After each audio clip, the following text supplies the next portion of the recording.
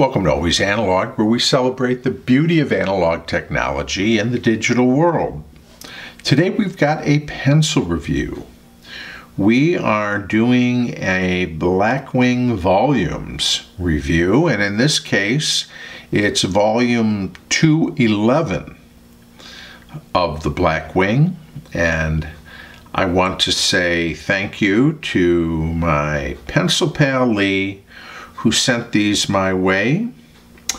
Uh, these were available a few years ago, I believe, 2015, it looks like they were released. And uh, these were not pencils that I had. And I love how they look. Um, I love natural wood pencils. And um, of course, I think many of us are familiar with uh, the reputation of, of Blackwing pencils, and so uh, it made it extra uh, exciting for me to receive these um, and be able to review them with you. So thank you again, Leigh. Really appreciate it.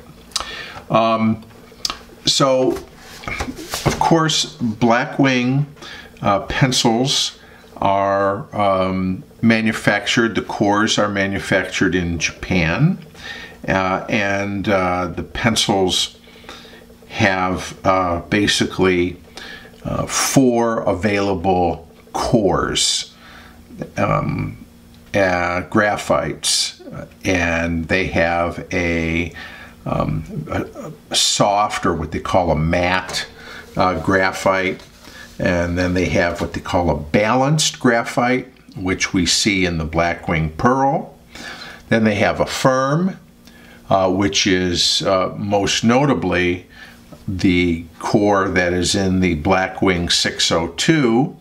And then the extra firm, which is the one used in the Blackwing um, Naturals. And so whenever they release a volume uh, or a you know a limited edition, uh, special edition Blackwing.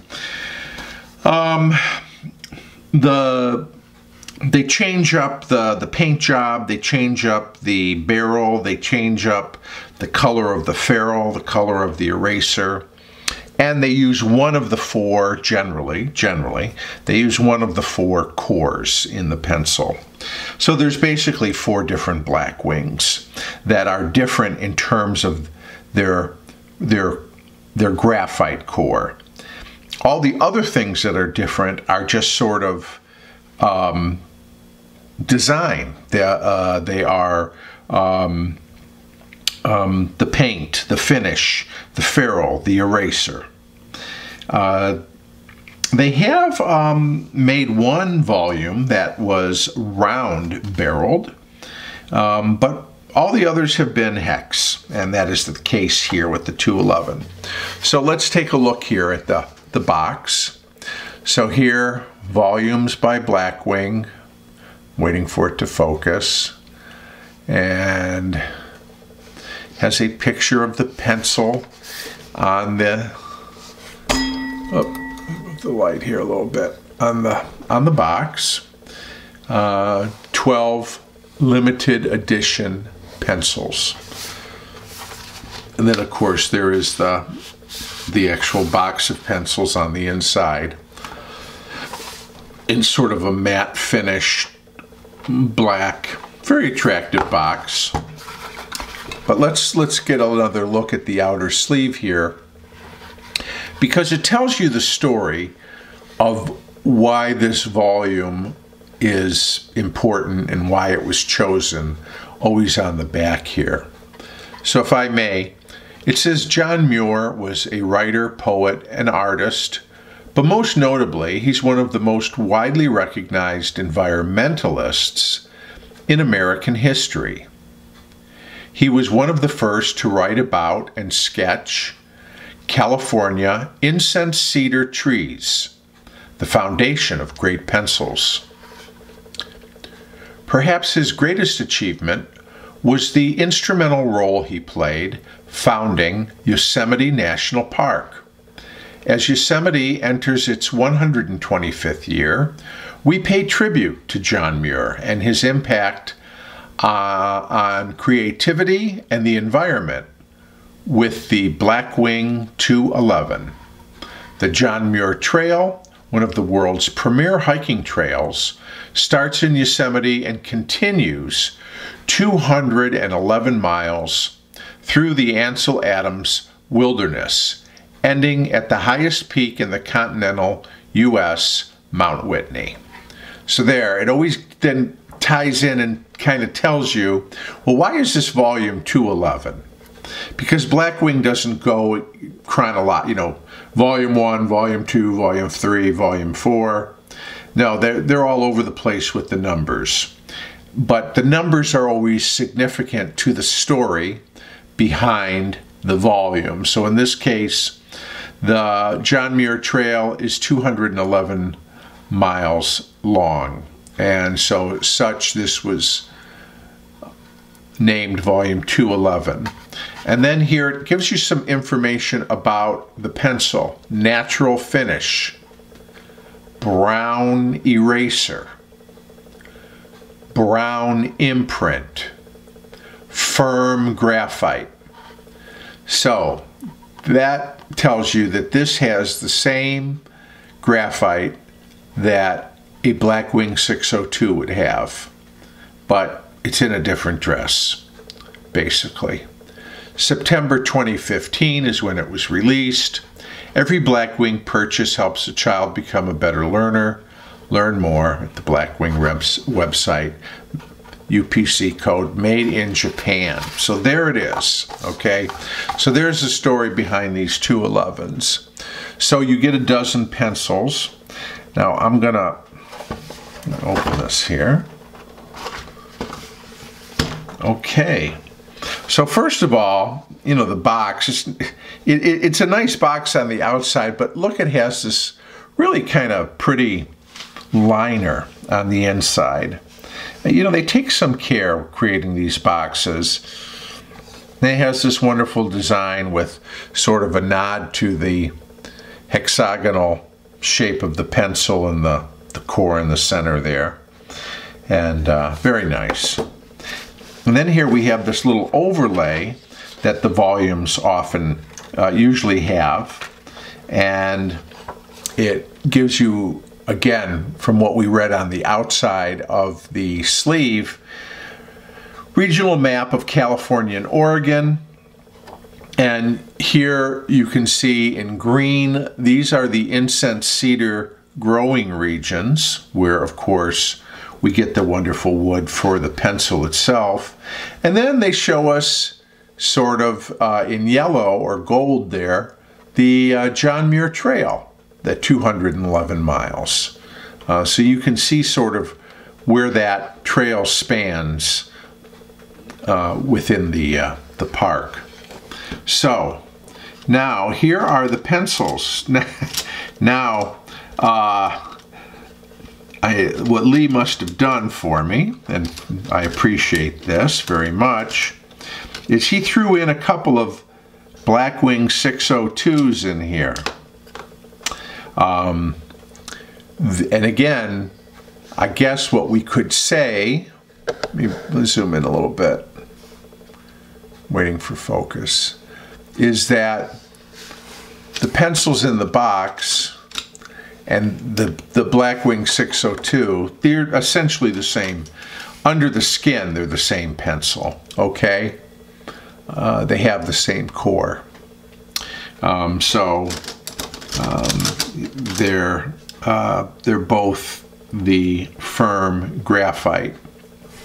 But if you remember on the uh, sleeve of the volumes here, 211, let me get this to come in, it told us it had a natural finish. It had a brown imprint. I'm hoping the camera can kind of pick up the color. It's a dark brown, but really looks nice against the beautiful I mean, just you know that the wood itself is just beautiful. So that it, it's really something to uh, really something to enjoy about a nice, natural finished pencil that isn't painted. To see the beauty when they use really good wood like this, to be able to sort of see and celebrate the beauty of the wood. But you had the um, natural finish. The eraser is brown and I think uh, for those of you, the, the eraser on the Blackwing, uh, of course, has this unique ferrule that holds the eraser so that the eraser can, you can essentially use the entire eraser and you can continue to pull it out as it gets used up. And when it's gone, you can actually put a replacement eraser in there. Or maybe you don't like a brown eraser. Maybe you'd rather have a pink eraser or a yellow eraser or some other color in here. You can certainly do that as well. Um, this is really, I mean, the pencil, the pencil is the key, but but the the, the this is the, the the ferrule is the Blackwing thing, okay, that makes this pencil sort of a Blackwing. Um, in addition to the, the wonderful core. So anyways, so here it is. A beautiful pencil, no doubt. Again, natural Palomino Blackwing 211, brown eraser, gold ferrule, uh, hexagonal. Let's pull a few of these out of here and just look, do a top-down look. Uh, those cores are, from what my eye can judge, all pretty much right on center. Beautiful.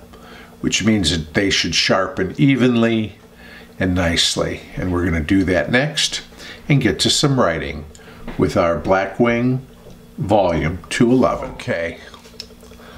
Let's let's sharpen this 211 up here.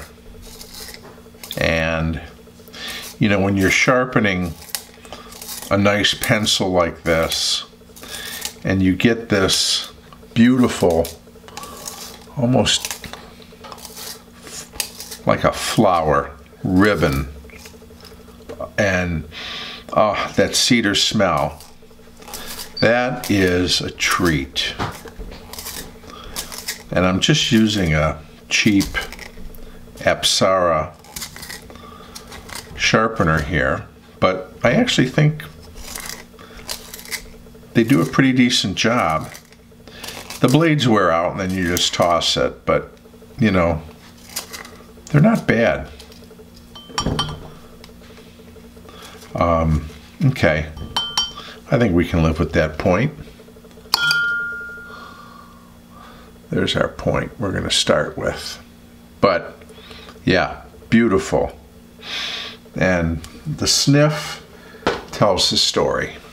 Okay, so let me get us ready here. And this is our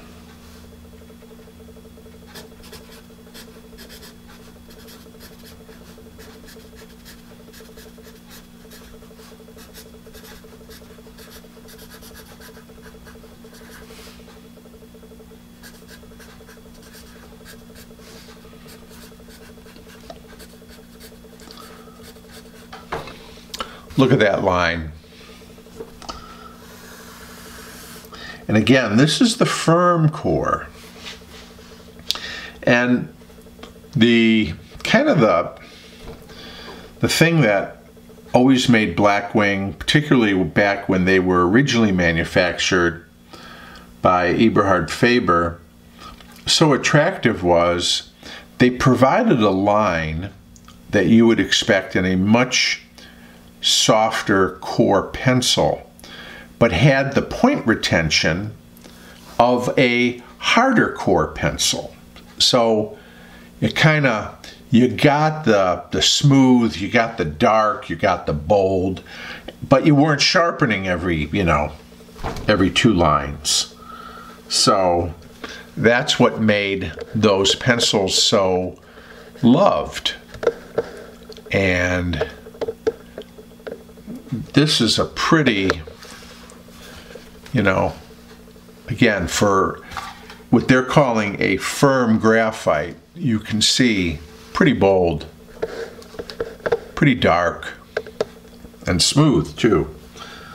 Let's try it with a little cursive.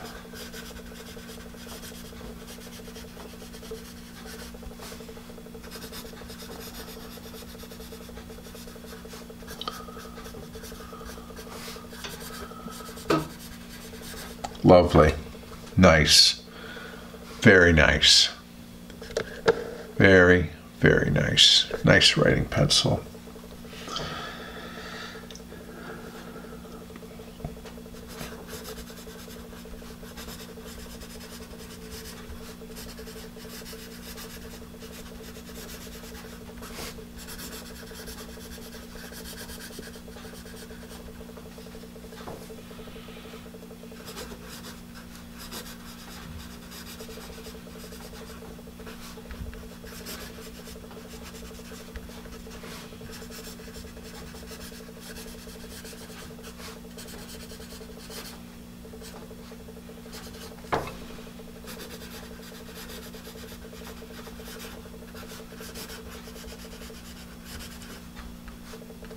Hear a little bit.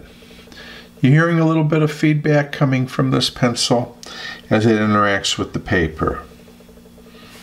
Not, but it, it is not, it's not a scratchy kind of an experience at all.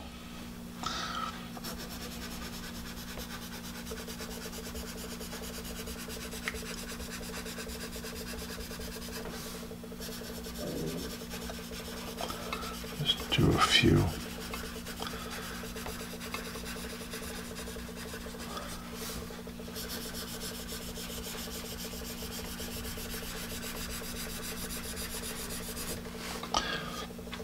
So here we go. Let me let's let's zoom in a little bit here.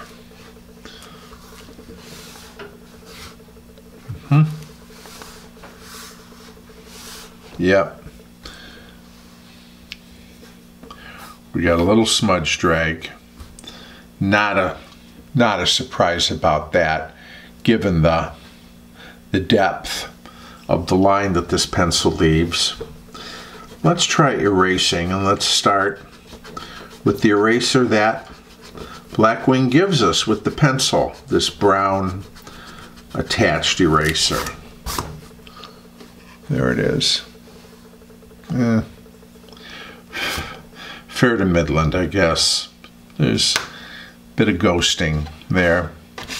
Um, so, okay, does an okay job. Not great. But let's try some other erasers to get a sense of the overall erasability of this pencil. So here's a Pentel. Boy, that's a clean sweep, isn't it? Here's a Mars.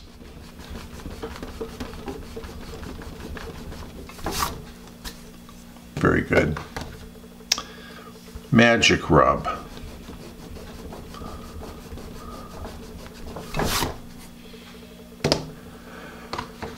Uh, here's an arc or an arch foam eraser. Very nice. How about a pink carnation?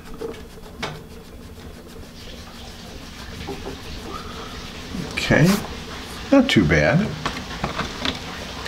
Art gum. Whoop, boy, I lost a big chunk there. This eraser is about getting down to the, the end. Uh, here's a Hartmouth natural rubber.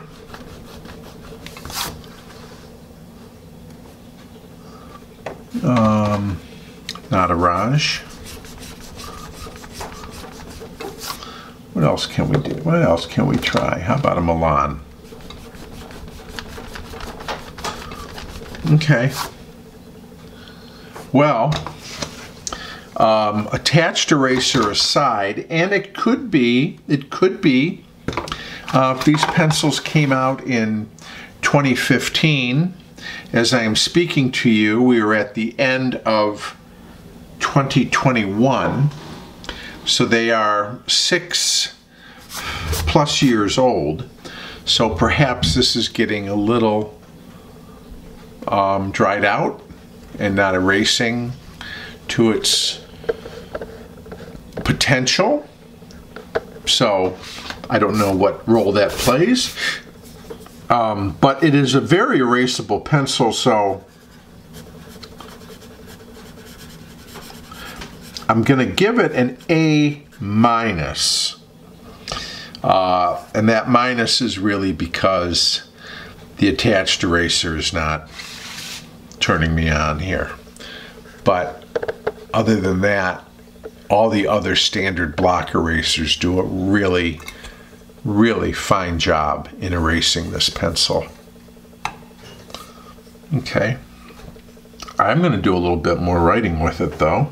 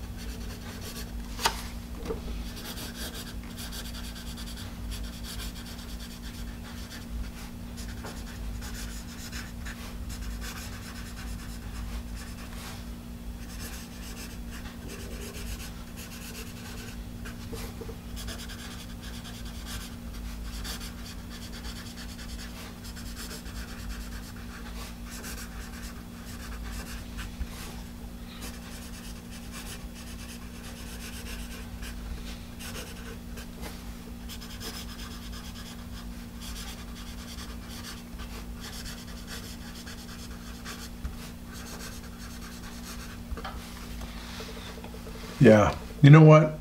It is a, a pleasurable pencil to write with. And I know a lot of people use Blackwings for their art to draw with, and I can I can really see how this would make a nice drawing pencil.